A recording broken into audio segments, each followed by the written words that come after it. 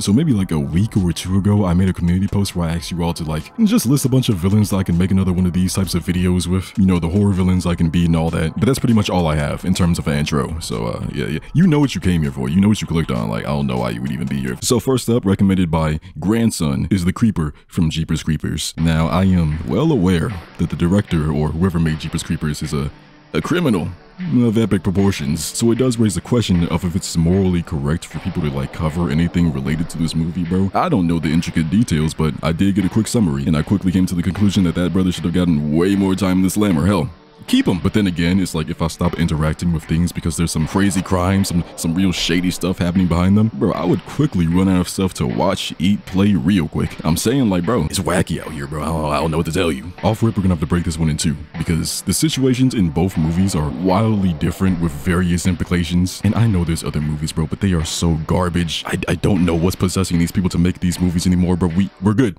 You can stop we're fine. So if you're unfamiliar with the Creeper, basically it's about this spooky parasite demon that awakens from hibernation every 23 years to eat people or make a house out of their body parts, whichever he chooses, bro. I don't know what he be on. So I'm gonna go ahead and I'm gonna put movie one Creeper at F tier. Real beatable, bro. Th- that's that's that's a lick. That's light work. The movie follows these two siblings on the road right here, and now now they're talking, they're chill until this giant piece of rusted metal going 200 on the 80 starts honking its horn, damn near running them off the road. They're like, whoa, stop, please stop. And it's the Creeper. Bro is on his way to throw away some bodies and stuff like that. Regular day, and luckily he passes them and goes about his way. Problem arises when they pass him at his stop. They basically see him throwing bodies down a tube, and for some unfathomable reason, they choose to investigate this. Now, granted, they don't know that there were, there were bodies that he's throwing down there, right? They don't know. They don't know. Thing is, they go over to the premises and start investigating when the creeper leaves. And they don't just investigate. The brother begs his sister to hold him by his legs so that he can get a good look down the tube. What, what the hell? I, I know the sister didn't want to, but I think it was her car. I think she was driving.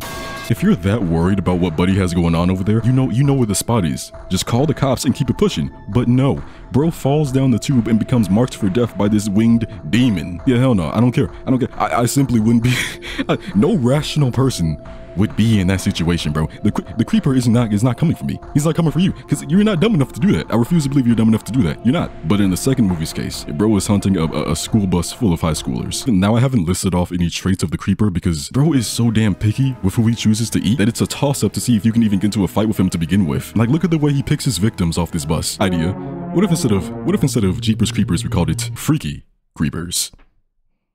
That's gotta be the name of something unholy already, bro. Let's dead that right there. In that. But I guess he picks his victims based on a certain type of fear that they emit that would taste good to him. All I can really say in that regard is like, you probably wouldn't be looking for me, bro, if I'm being honest with you. I, I do this thing where I tend to underreact in serious situations. I mean, like something crazy could be happening right in front of me and I and I just go straight unresponsive like it's not even happening. I don't, I don't, know what that is, bro. It's it's a it's really a gamble. Now maybe it's unresolved mental issues that I will bottle up and I will be taking out on my children in a decade. So maybe that's the cause. I don't know, man. Listen, bro, I'm damaged goods. I'm damaged goods, and I've made my peace with that. Even if bro picks me for the feeding.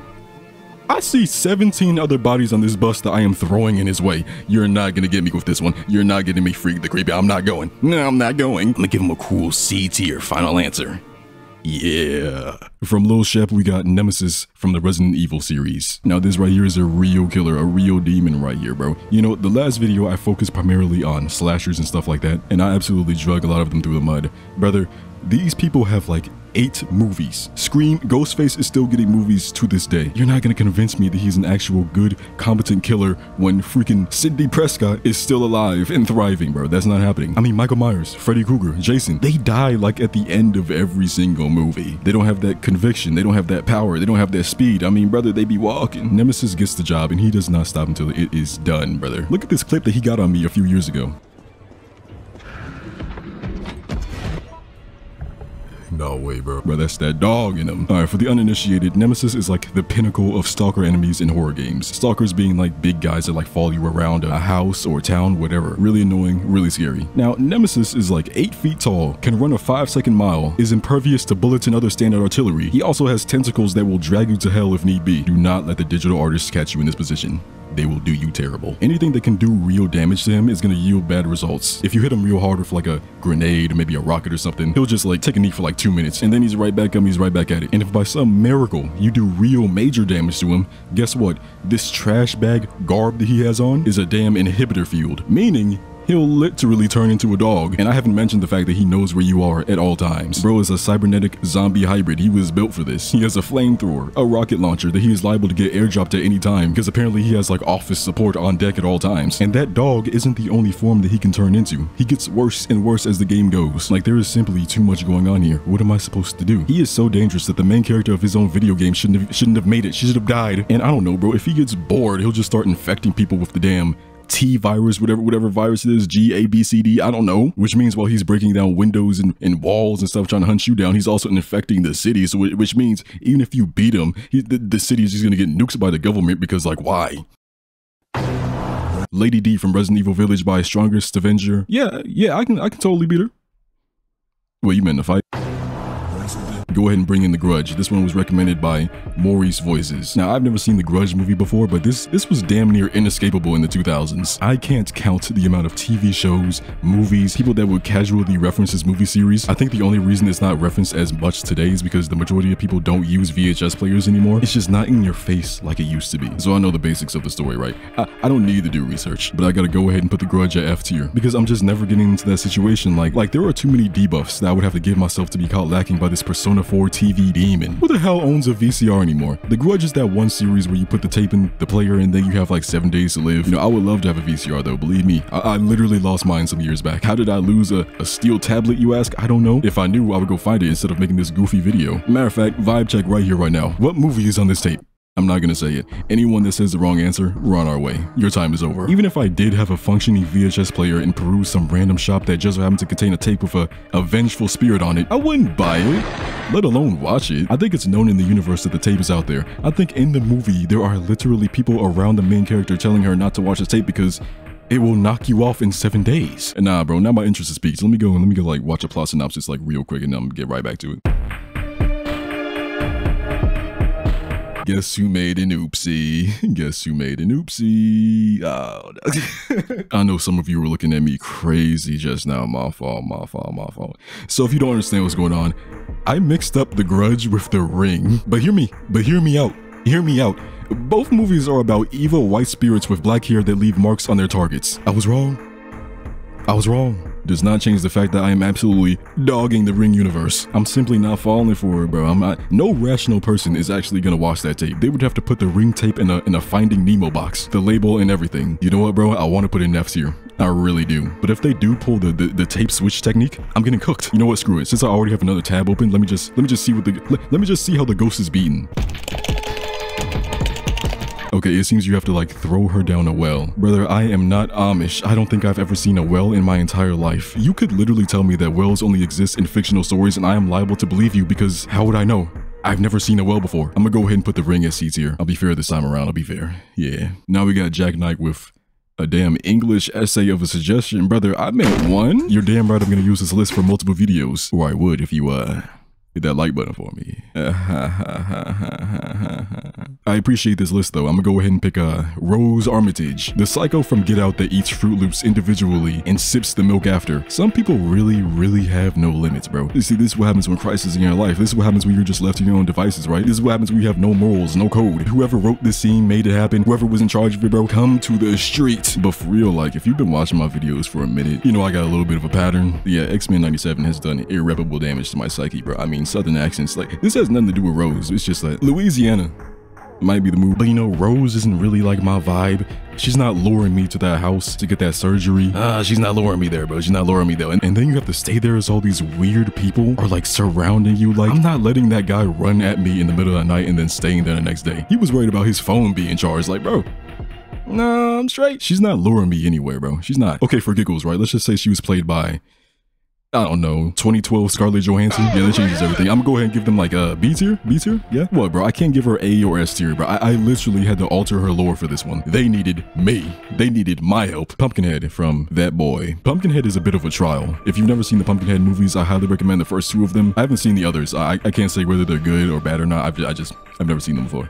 I've, li I've literally Pumpkinhead is another vengeful spirit that gets activated to take revenge on whoever the wronged party deems worthy. Uh, basically, he's a demonic hitman. In the first movie, this guy's kid got absolutely wiped out by a bike. I understood the father's pain, but going to the evil witch that lives in the swamps to summon Pumpkinhead is pretty crazy, not gonna lie to you, bro. And I know he was moving crazy because the second that he summons Pumpkinhead, he immediately regrets it. For one, the whole summoning process is extremely painful. And then summoning Pumpkinhead also kind of puts the dead victim into into the body of Pumpkinhead and pumps them full of like demonic rage. The little kid that was murdered was probably he was probably vibing at a Juice WRLD concert just to be soul bonded to a musty demonic corpse and forced to hunt down his killers. It's a really good movie. I gotta rewatch it. But the problem with Pumpkinhead is, despite looking like a roided up xenomorph, that brother cannot fight. I forget how he died in the first movie, but in the second one, he literally dies from a firing squad. I mean, hell, like, bro, by the end of the second movie, the objective was to save Pumpkinhead because people started to realize whose spirit was inside the body. Yeah, Pumpkinhead 2 had me had me really sad. And then Pumpkinhead as a killer is pretty slow, very hard to hide because he's he's up there with LeBron James. Just not the spirit of revenge that I would want if I needed one. If you have automatic weapons on you, you're probably good.